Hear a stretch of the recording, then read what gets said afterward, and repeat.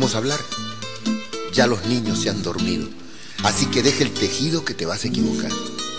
Que hoy te quiero preguntar por qué motivo las madres de la mañana a la tarde amenazan a sus hijos con ese estribillo fijo.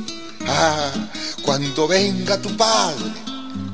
Y con tu padre de aquí y con tu padre de allá, resulta de que al final, al verme llegar a mí, lo ven entrar a Caín y escapan por todos lados.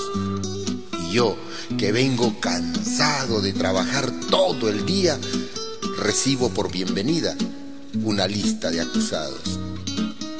Tú empiezas con tus quejas y yo tengo que enojarme.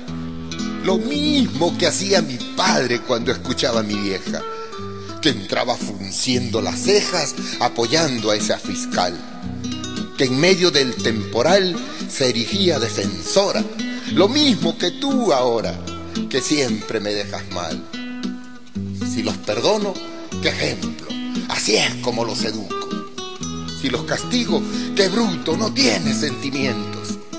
A mí, a mí que llegué contento y no tuve más remedio que poner cara de serio y escuchar tu letanía. A mí que me paso todo el día pensando jugar con ellos. Yo sueño llegar a casa y olvidarme felizmente del trabajo, de la gente y de todo lo que pasa. Los hijos son la esperanza, el porqué de nuestras vidas. Por eso nunca les digas, ah, cuando venga tu padre. No quiero encontrar culpables, quiero encontrar que no me uses de escudo como lo hacía mi madre, que consiguió que a mi padre lo imaginara un verdugo. Él llegaba, él llegaba y te aseguro que terminaban las risas. Y en lugar de una caricia o de hablarle como a un amigo, lo miraba compungido presintiendo una paliza. Y el pobre que me entendía sacudía la cabeza, escuchando con tristeza lo que mi madre decía y que él de sobra sabía que con este no se puede, que me ensució las paredes, que la calle, la pelota, que trajo muy malas notas y me saca canas verdes. A la cama sin comer. Aburrido me ordenaba. Mi madre me consolaba y yo lo culpaba a él. A él que había llegado recién de trabajar tan cansado y ya lo había amargado con todas mis travesuras. Yo era una criatura, pero nunca lo he olvidado.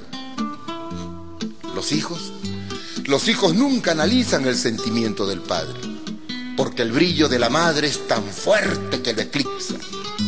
Solo le hacemos justicia a su íntimo sentir cuando nos toca vivir a nosotros su problema.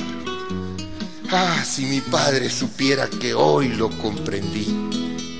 ¿Y por qué nunca me dijo del modo que me quería? Si hoy yo sé cómo sufría al ver enfermo a su hijo. ¿Por qué me miraba fijo el primer pantalón largo? Y sé que me habrá besado cuando yo estaba durmiendo. Hoy que todo lo comprendo, ¿por qué no estar a mi lado? ¿Por qué no estarás ahora? Ahora para abrazarte bien fuerte, viejo lindo, y ofrecerte mi cariño a todas horas. ¿Ves a tu hijo que llora? Pero llora con razón porque te pide perdón al pensar en esos días en que ciego no veía que eras todo corazón. Deja mi reina que llore. Es tan lindo desahogarse. Vamos, vamos a ver lo que hace nuestro futuro Señor. Mira esos pantalones. Cubre un poquito a la niña. Sí, ya sé, no me lo digas. Hoy se fue a la calle sola. Ven, acuéstate, rezongona. Mañana será otro día.